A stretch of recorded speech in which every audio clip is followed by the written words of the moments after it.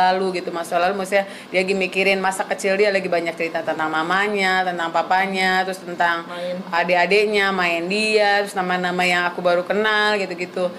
Ya nggak juga sih. Alhamdulillah dia udah hari keberapa? Tiba-tiba hari kelima apa ya dia udah nyebut anaknya. Anakku di mana? Dia ngapain? Gitu. Hari baru kemarin dokter baru bolahin eh bawa anak ya ke sini nggak apa-apa dia nanyain terus? iya nanyain terus udah mulai Daphne di mana kakak di apa Abel di mana terus yang ketiga juga disebut-sebut gitu sih Berapa Karena persen omongan netizen kamu? dan netizen tentang Hmm. biaya perobatan ini menjelaskan sendiri seperti apa sih?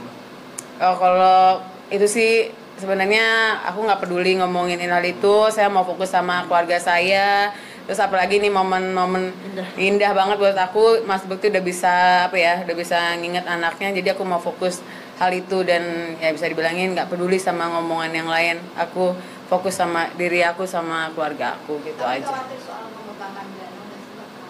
Enggak lah, insya Allah ada jalannya dan alhamdulillah sampai detik ini Tuhan itu ada dari pokoknya Tuhan itu ada dari awal sampai terakhir ini eh, masya Allah deh pokoknya banyak orang yang ngebantu karena Mas Bekti itu baik.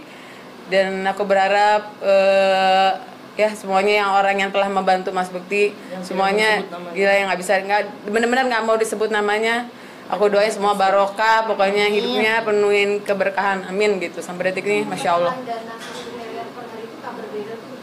Oh, kalau itu saya nggak tahu deh. Saya nggak pernah nyebut itu satu apa itu, cuma kita nggak pernah menyebut angka nggak pernah nyebut angka gitu. Karena sampai detik ini pun eh, rumah sakit kan saya nggak tahu gimana, tapi kita nggak pernah nyebut hal itu sih gitu. kita nggak pernah ada statement untuk berapa nilainya karena sampai saat ini juga belum ada eh, apa ya eh, nilai eh, yang bisa diberikan dari rumah sakit pada kami tapi Ya realitinya belum karena Iya. Mas Bukti masih